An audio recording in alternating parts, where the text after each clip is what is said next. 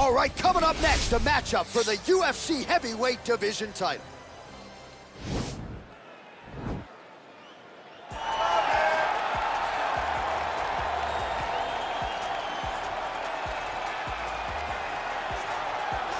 Well, here he is, folks, a true renaissance man, the future UFC Hall of Famer, Daniel Cormier. So, father of two, high school wrestling coach, two-division UFC champion, but it wasn't enough to just be in the game. Now you're commentating your own walkout, DC. It's magic. It's magic, John. I am now add magician to my list of accomplishments as I walk to the octagon, at the same time calling the walk to the octagon. And I must say, of all the octagon walks, this has to be the best one that I've seen. Look how good looking. He tucks his shirt into his pants. He tucks his pants into his socks. What a fashion statement Daniel Cormier makes as he walks to the octagon. And people who really know you know how much humility there is underneath those 235 plus pounds. But what you have accomplished in mixed martial arts is not going to be duplicated by a lot of individuals. The boxing, catching up to the wrestling. Shout out to Rosendo Sanchez and Javier Mendez, Bob Cook, everybody else you have really become one of the best pound-for-pound -pound fighters in the world, and you put that status on the line yet again here tonight. Thank you, John. You're so sweet. All right, so here he is, one of the more prolific takedown artists in the UFC at present, and when you get some praise from Daniel Cormier when it comes to your offensive takedown game, you know you're doing something right. And we talk about wrestlers and judo players and grapplers, but this guy just combines all of that. He is able to use foot sweeps from the grappling game. He is able to use throws from judo, and he's able to use wrestling in the, from the wrestling game to take people down. He has an array of takedowns at his disposal, and he uses every single one of them, from the speed of the level change to the timing to the knowledge of where to go next. When the guy starts to defend, he's truly, truly something special. I don't think he could take you down, but tonight he doesn't have to. So he does not in this to. matchup, prevailing wisdom is he'll be able to get this fight to the canvas. Ladies and gentlemen, this is the main event of the evening. And when the action begins, our referee in charge of the Octagon, Dan Miragliotta. And now, this is the moment you've all been waiting for. Live from the sold-out Madison Square Garden Arena in New York City.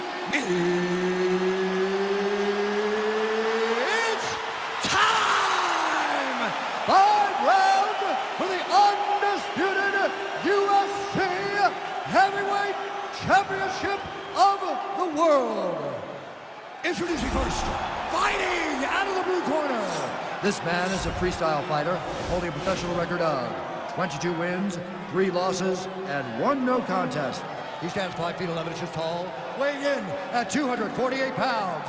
Fighting out of San Jose, California, USA. Introducing the challenger, Daniel D.C. Cormier.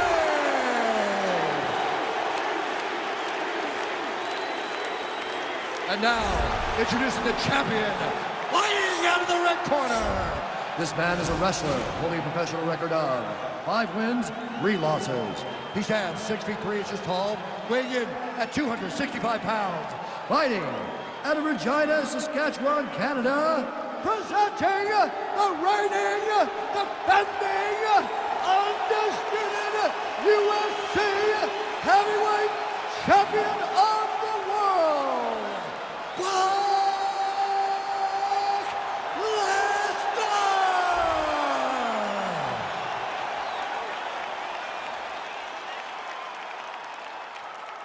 All right, this is for the UFC Championship. I want you to obey my commands at all times, protect yourself at all times. I want a nice, clean, safe fight. Touch gloves, back your corners, come out fighting. They touch gloves, and we are underway. You ready?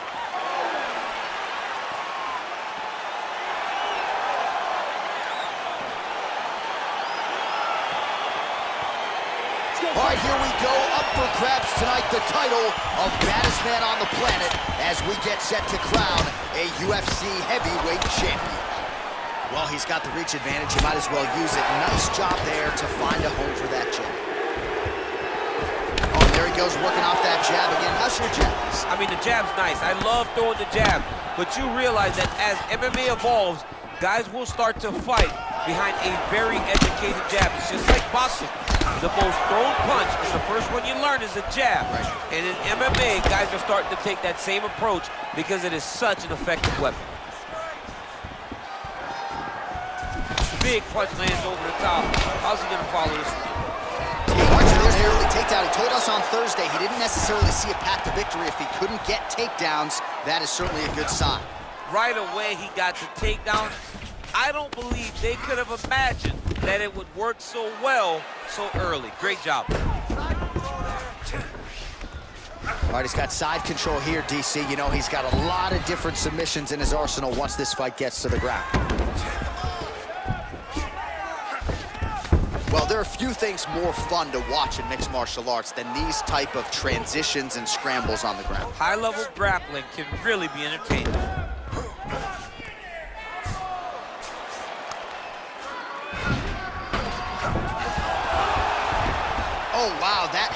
Quickly as the fighter reverses position. Now trying to hip escape. He's just trying to move out of this position off the bottom.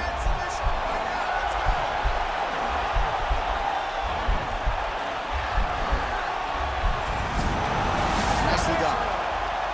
Strong bottom work here, staying busy. Back to the feet now. Oh, such a natural jab, and there it is again as he gets the hand right to the toe. I mean, right to the target, John. It's like the dude sitting there with a red target on his nose, just getting beat up, hit bullseye after bullseye after bullseye. I love his ability to feint once and then throw that jab right behind it. It's nasty. Fighters back to their feet here. Big, powerful punch lands. Now he gets back to range.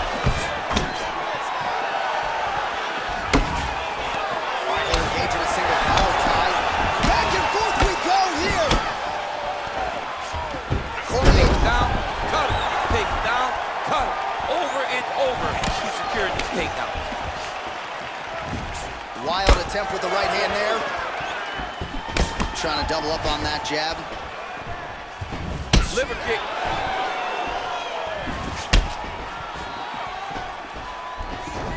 Oh, man, I'm starting to feel bad for the canvas as he lands another takedown there. He landed another takedown, and he's doing it over and over again. What I am a massive fan of is his cardio, the ability to be able to keep this pace over and over as he hits these takedown attempts. All right, dominant position for him here. Now the guy's got armbar. He's attacking it on it.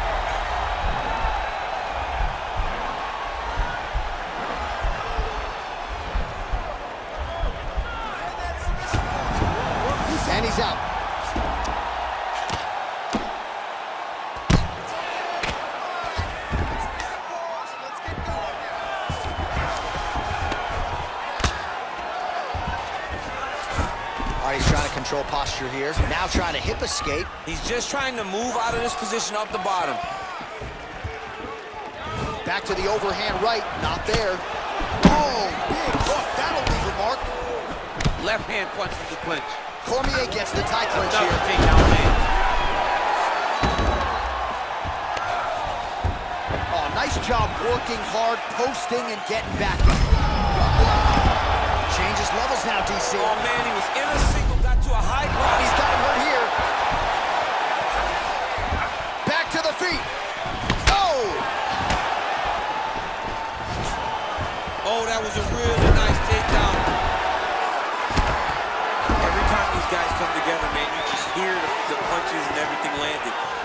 Both, both very powerful, very, very explosive.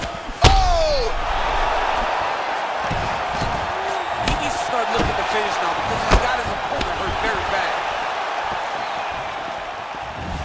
Really making good use of his reach advantage there with that punch. His misses are entertaining. Nice punch lands over the top.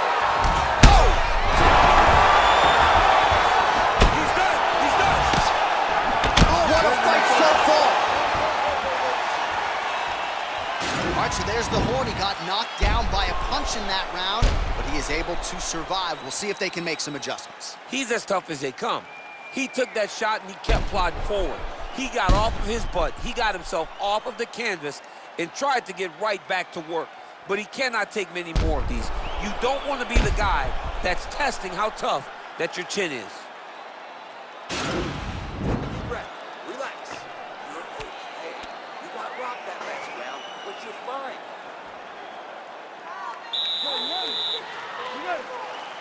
Second round here. And he landed the right hand there. Oh, yes, it is a lost art in mixed martial arts. Not just the jab, but the double jab. I mean, a beautiful double jab. That thing's throwing right to the chin, too. Oh, nicely done there as he escapes back to his feet. Cormier's lower jaw does not look good. I don't think it's broken, but starting to show some obvious signs of swelling. Oh, strong punch there by DC. And there comes the separation now. DC didn't take him long to find his range here tonight. Quick level change, Oh, DC. he went single, rotated head outside. This dude's going for a ride. Oh, Oh, my God. He switched the lock to a high crotch, rotated him, and took him for a ride. That was a big takedown. All right, so he sort of turtled up here. Not great body language. Perhaps he's trying to bait him in a little bit.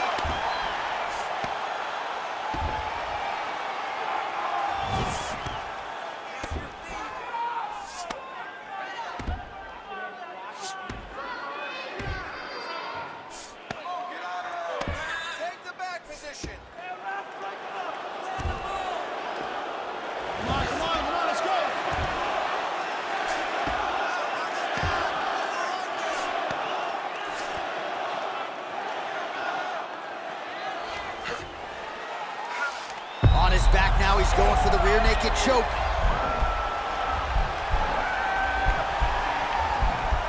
He is doing a really good job of relaxing, not panicking because he's getting choked. And he's out.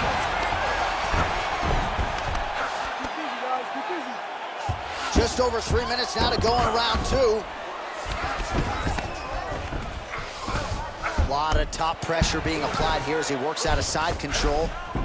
Oh, he's back up again. You gotta like that. All right, he engages in a single collar tie here. And now he's got the title on the ground. Now he is in his wheelhouse. We'll see if he can get one of his submissions to pop here tonight. Oh, misses with the jab.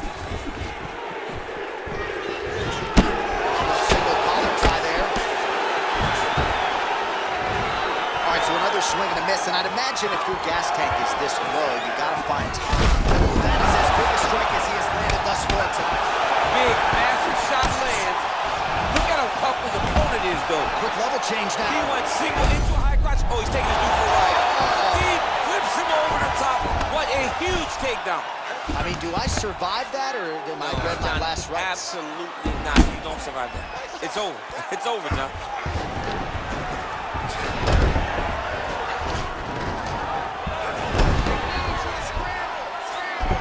All right, north-south position here. We'll see if the crowd can be mature about this, DC. Side control now. Beautiful movement, hip work on the ground here, just outside. Now potentially working on a submission instead.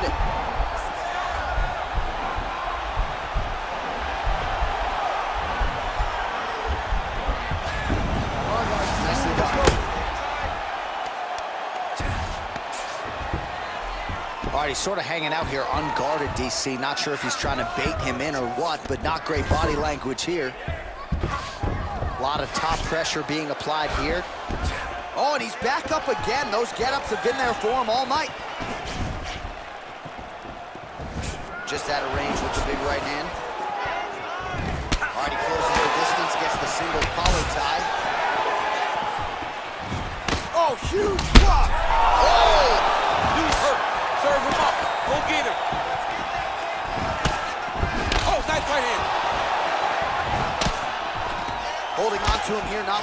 Doing too much, perhaps just looking to recover. Man, as he landed a high volume of strikes here in round two, definitely picking up the pace.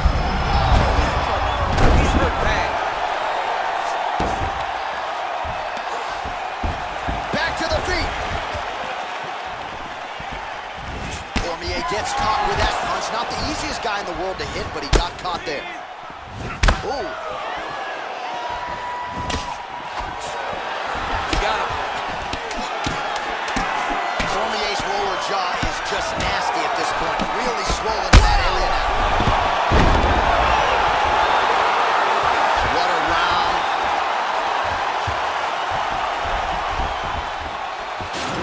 The horn. That means it's the end of the round. And get that man a singlet, man, right? Offensive wrestling on point tonight. That was a tutorial.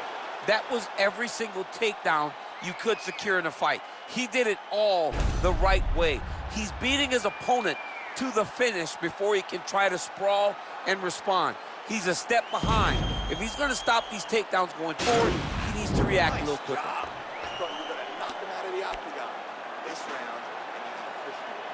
Well, he certainly had his way with his opponent in that previous round, and with this guy, even when you know what's coming, sometimes it's still just hard to stop it. Yes, because he's always changing it up. The first time, it may be a high crotch entry. The second time, you may get single. Third time, it may be double. Ultimately, it always leads to him in the top position, trying to find space for his ground and pound. Big punch lands through the middle. Right where he wants to be, in the clinch. That tie clinch. We'll see what he can do with it. Huge knee lands in the clinch. All right, pretty good series of knees by him there, so mixing up the striking really well in this fight tonight. Fantastic fighter. The Takedown landed now by Corey. Back to the stand-up now, both fighters upright. Overhand punch to the head, blocked though by DC. big punch from the clinch. I don't know how many times you can hit in the head and stay in this fight. It won't take many of those. He's out! I'm not sure if that's the way he drew it up, but a huge result for him here tonight as he gets the win by way of knockout, and that's about as good a one-strike finish as we've seen here in the UFC in recent memory. I'm not even sure the opponent saw it coming, so a big, big win for him here tonight.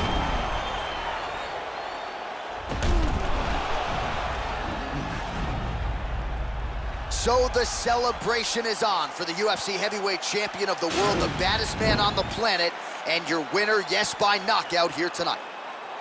Ladies and gentlemen, referee Dan Miragliotta has called a stop to this contest at one minute, one second of the third round, declaring the winner by knockout